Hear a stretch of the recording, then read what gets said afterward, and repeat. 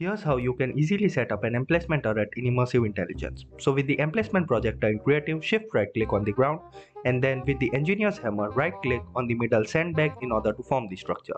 Now on the yellow port goes any power source and on the red port goes a redstone signal in form of lever. Now with the engineer's wrench or an electric engineer's wrench, right click on the emplacement structure and then select any upgrade that you want. I am going with the autocannon. Once the cannon turret is out, right click once again in order to form it. Now inside the GUI, you can place down magazines and also select the targets.